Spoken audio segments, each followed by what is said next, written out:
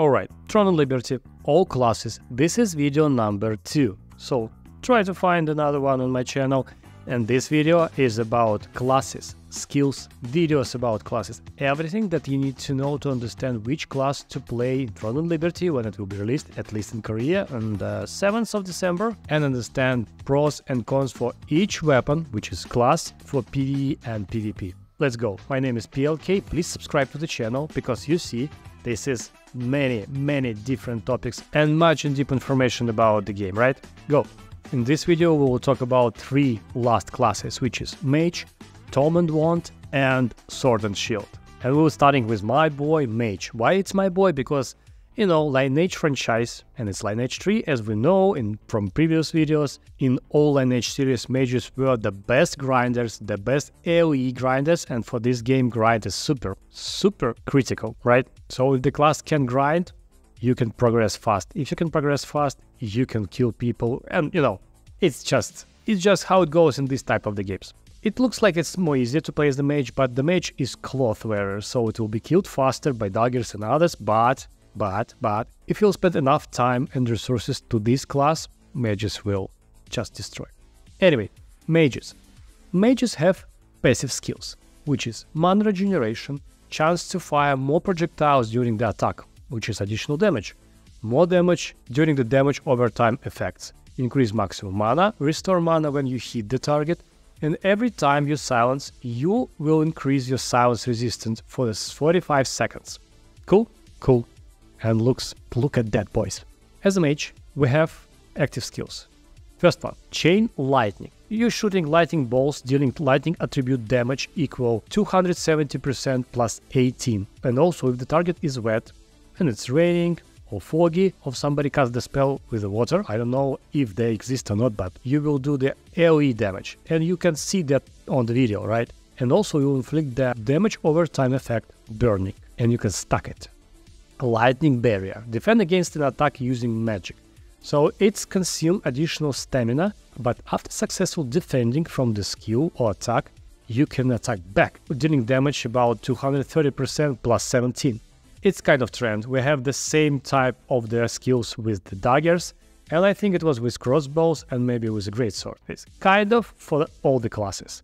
Next one is serial flame bombs shooting a ball of fire at the target dealing damage equal to 80% plus 6 and inflicts stack of the burning damage with 50% of chance. And it looks like it's not only one bomb, so you'll do multiple fire damage, inflicting burning. And you can do the lightning, which also will inflict the burning. You get it right. You collect all the mobs in the territory and then just AoE them. Infernal Wave calls upon the flames that break through the ground, dealing damage equal to 140% base damage plus 18 to the target and its surroundings. And of course you inflict burning. And of course you can stack it. So just imagine you can stack burning effects from different skills and I don't know is it like limit to the stacks, but in the end the target will die fast. Inner Composure. For 6-7, focus on mind inwards to increase mana regeneration by 300% or twice when in wet state. So this class like to be wet, if you know what I mean. okay, next one, high concentration. Intensely focus the mind to increase cooldown speed by 35% and global cooldown speed by 30% for 12 seconds. I mean, that's cool. Like you use all these skills, then you click this, cooldown only 1 minute 30 seconds, and you can reuse other big spells. Yeah, it's mostly for the big spells, but it will reduce cooldown for all the skills. And Judgment Lightning. Concentrates magic to summon powerful lightning that deal damage equal to 690% of base damage plus 95. And I want to remind you one more time, the normal weapon damage is like 20-30, right? So it's like plus 95 stable and 690% of base damage. And also, if the target is wet, everybody in a radius 5 meters will be damaged for 460%. I mean, up to 5 targets. Yo, and also it's inflict burning and also it inflicts stacks, which will grant a 5% chance for additional use within 10 seconds. I don't know how, but for this class, you have to understand how to make people wet or targets wet because with wet, I mean, yeah, you need to you need to basically to level up on the beach, on the coast or something because wet targets are much, much faster to die from the mage. And what you can see from the overall class, as always, mage is super damage dealer, but it's super thin. So all daggers, all longbow users will kill you fast if they will have a chance, if they will come to you. And I don't see that mage have any slow skills, but in the videos, we have this ice barrier or something skill. Will be right now, right? Yes, this is, so you can slow targets with ice or something. We don't have this skill in this table. And I, one more time, I want to remind you, this table is outdated from six months previous beta. But still, we need to understand what this class will be. And we can, right? So you can slow target a little bit. And also you have this big one. It's the last skill that we discussed, right? And this one teleportation plus you stop or freeze target. But anyway, it will be damage dealer class. It will be super good in PvP, in group PvP, when the tank will be in the front and daggers will, you know, do their stuff and you just will kill targets from the distance. It's good for grind. Most likely it will destroy everybody if you will, as I said, spend enough time and resources to this class. I really want to try it because my nostalgia telling me I was a Dark Mage, which is the Spell Howler. I think it was the name of the mage class in Lineage 2. And I like mages. So yeah, mage. Next one, we have a tank. And tank have the following passives. Closer to the target, more evasion to bows and magic you will have. Mana restoration when you evade hits and skills. Every percentage of the shield block chance increase overall protection. Every basic attack is provoking enemies in the range and make more damage stably. On the successful blocks, you will stack increasing resistance to CC and reduce all cooldown on stuns or any collisions caused, caused by you, right? So, it looks like you need to level up and increase as much as possible shield block chats because you will get more protection, you will get more increasing resistance to CC, yeah, that's basically it. You like armored tank that's killing by the stun and have crazy amount of different resistance. Let's see what about the active skills. So for the active skills we have first one, strike shield. This is a shield to quick bash a target and deal damage, plus for every percent of the shield block chance, heavy attack chance is increased by 70. So basically you need to increase shield block chance, right? Shield survival technique. Defense against an attack using a shield consumes additional stamina like all other classes. And upon defending against a fury attack restores 170 health. What is fury attack? I don't know, but most likely is just a fast attack, right? Counter barrier. Focus mind on the shield, increasing shield block chance by 12%. Alright, and then protection and everything else. Upon successful blocking or evading a melee attack, inflicts a counter-attack that deals damage equal to 250% of damage reduction. What does it mean? I think it's a wrong translation, most likely it's just damage, like you're counter-attacking with this damage. Chain hook, yeah, I saw that. And it's fury attack. One more time, I don't know what is fury attack, but thrown a chain hook to a target with 50% chance of inflicting collision. Pull. Okay, when you use it on boss monsters, you will move to the location. Against the monster, the chance of applying this effect increased by 15%.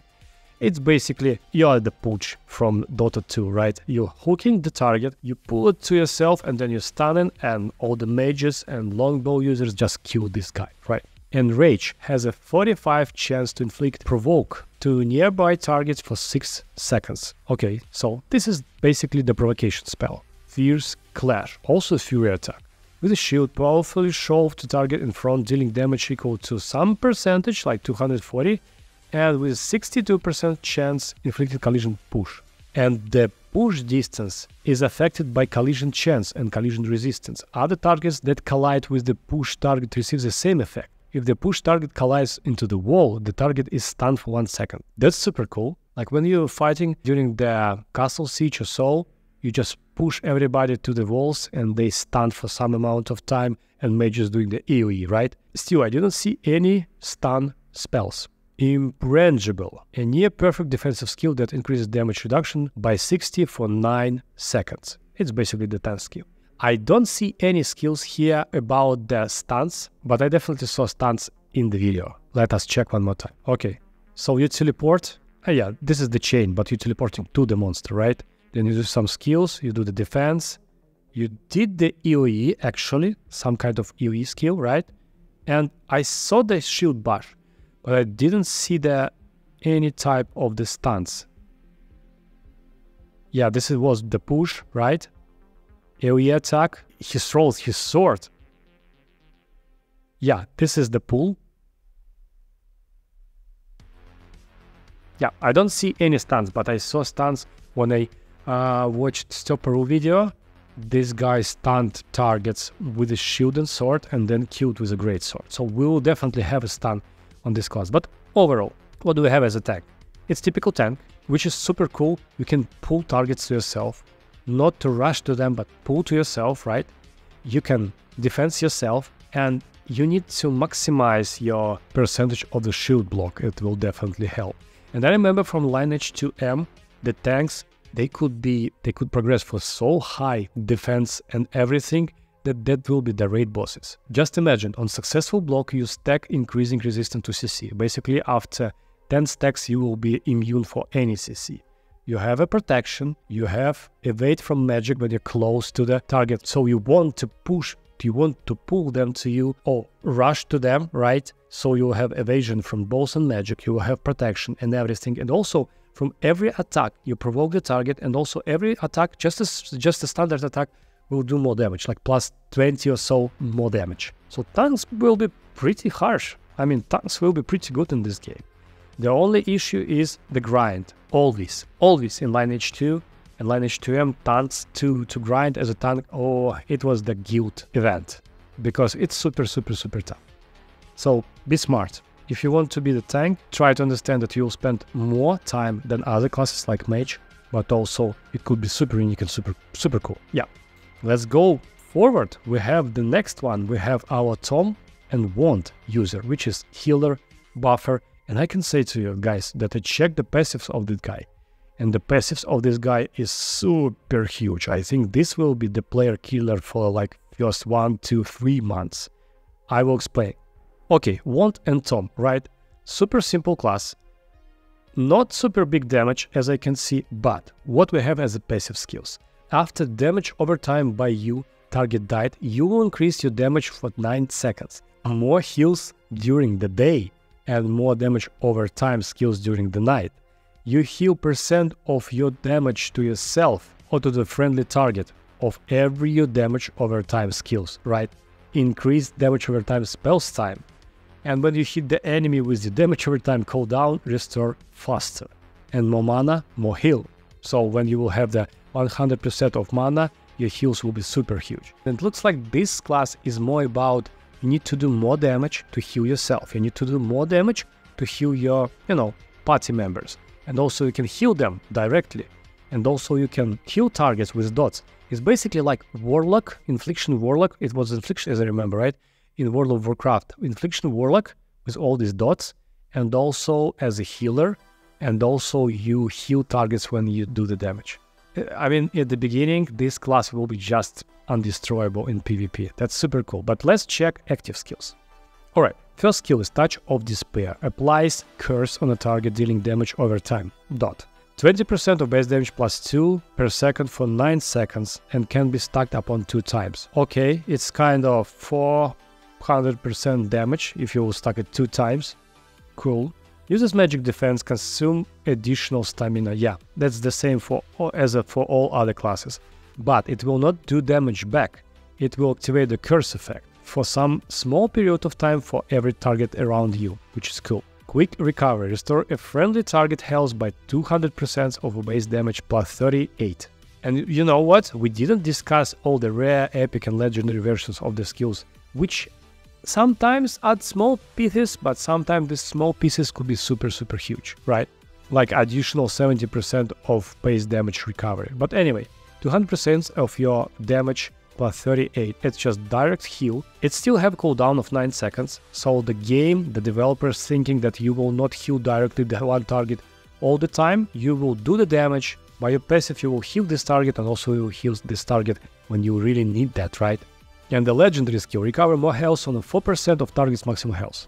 That's super huge. And you should remember that when you will just, you know, level up, you will heal yourself from the monsters. When you will do the dot attacks on them. Curse Explosion. Deal damage equal to 410% plus 49 to the target. For any enemies within 5 meters of the target that you have inflicted with the curse damage, over time it will forcibly remove all curse, burning, poison effects on them, dealing 100% damage of the remaining damage. You will clean all the curses at one time, but all it will be just explosion of the curse. Super cool. Nightmare Bulk. What is that?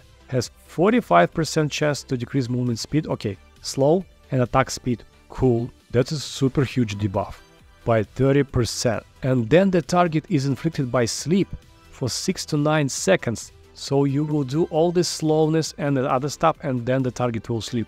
That is super huge. You just drop this, do all the dots, right, and just wait while target will be dead. I remember in Lineage 2 the sleep in the first Chronicles, it was just, you know, cheat code to, to kill. This guy will not do the super huge damage, but it will kill everybody. It will be more slow grind, but still, it will be grind on a higher location because this guy is self-sufficient. He can heal himself, right? And everything, okay? Clay Rescue, recovery magic devised by the Carmen Wizard, Clay healing multiple targets. Heal all party members within the range of 330% of base damage plus 413 health. If it's correct, it's a huge one, cooldown 27 seconds. It's like the savior for the party, right? You can debuff, you can heal, you can dot, right? And time for punishment. Has 60% chance to using curse magic to cover the target with chaos armor for 9 seconds, decreasing their skill damage resistance by 190. So all the skills that will go to the target will be much, much, much worse for the target. So yeah, you debuff the target with all you have, you dot the target with all you have, you heal yourself and target just die. If you want to be harsh with the magic, this is the class for you. So this could be a super interesting class. I'm, I'm, I really, I don't know what class I should I choose. I really like the mage, but we have two weapons. So maybe Mage and uh, Tome and Wand will be super cool for the uh, for the grinding, right? And uh, okay, let's see. Let's see. What do you think about the classes, guys? What class you prefer to choose? Please comment below. Of course, subscribe. Of course, like the video, right? Because I mean, if you're still with me, thank you for that. And I was happy to see you guys. I preparing so many different cool material about this game in the nearest days. So keep in touch. See you. Bye.